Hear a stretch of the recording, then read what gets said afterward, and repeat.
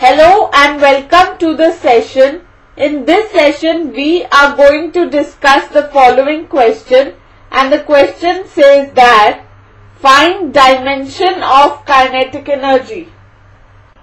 We know dimensions are physical properties or quantities which can be measured. Some of the basic dimensions are length, mass and time. The symbol of length is L in square brackets.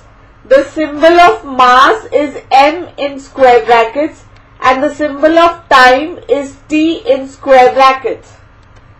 There are some quantities which are derived from basic dimensions like area, volume and speed. The dimension of area is L square, the dimension of volume is L cube and the dimension of speed is LT raised to power minus 1. With this key idea, let us proceed with the solution. We have to find the dimension of kinetic energy and we know that kinetic energy is equal to half mv square where m is mass and v is speed. From the two tables, we know dimension of mass is m and the dimension of speed is lt raised to power minus 1.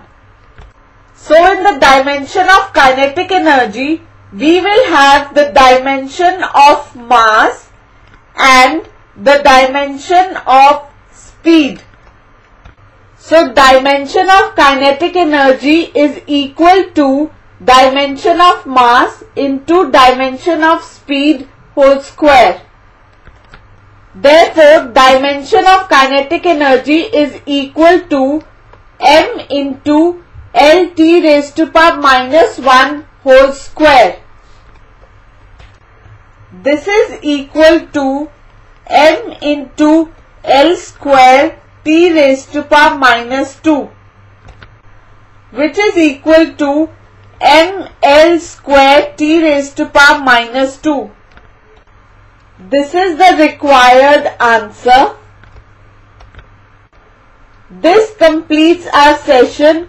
Hope you enjoyed the session.